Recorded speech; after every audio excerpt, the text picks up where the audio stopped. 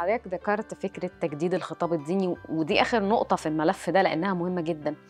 لما الرئيس بيتكلم في أي محفل وآخرها الاحتفال الأخير بليلة القدر في حضور فضيلة الإمام الأكبر يمكن الرئيس بيتكلم لأنه بيدرك تماما خطورة أنه يكون في خطاب متطرف.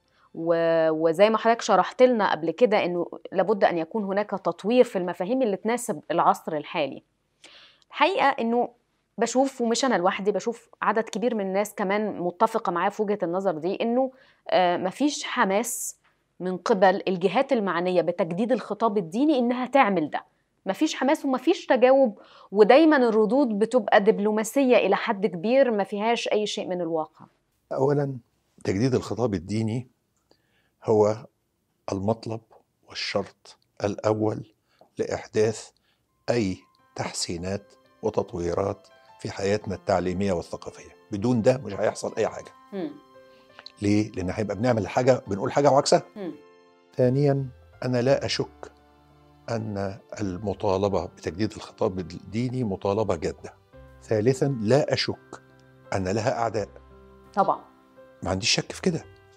ما هي الخطب المقابلة اللي بنسمعها بعد ما يقوله الرئيس عن تجديد الخطاب الديني فاضحة وكاشفة.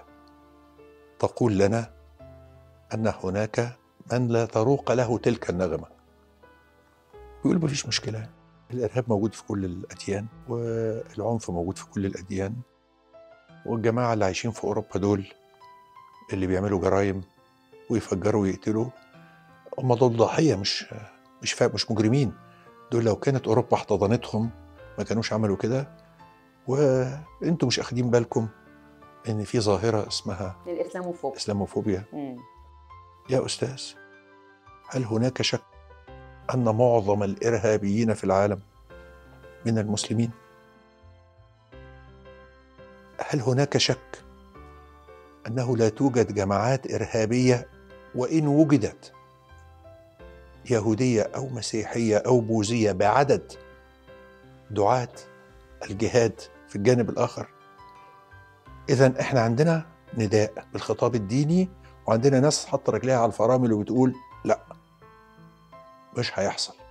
في الأول قالوا مش هيحصل من بره المؤسسة الدينية. طيب أوكي. الطريقة الوحيدة إن ده كلامكم يمشي إن أنتوا تعملوه.